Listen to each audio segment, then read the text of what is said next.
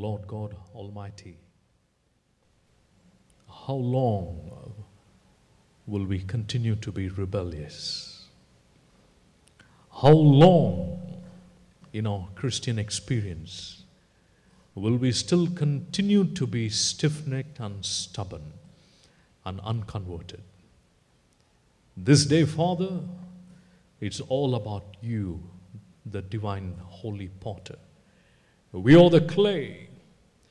Break us, melt us, mold us, destroy us, transform us, renew us, and regenerate us. This morning, we want to be honest with God and with ourselves. Father, we do not want to go home the way we've come.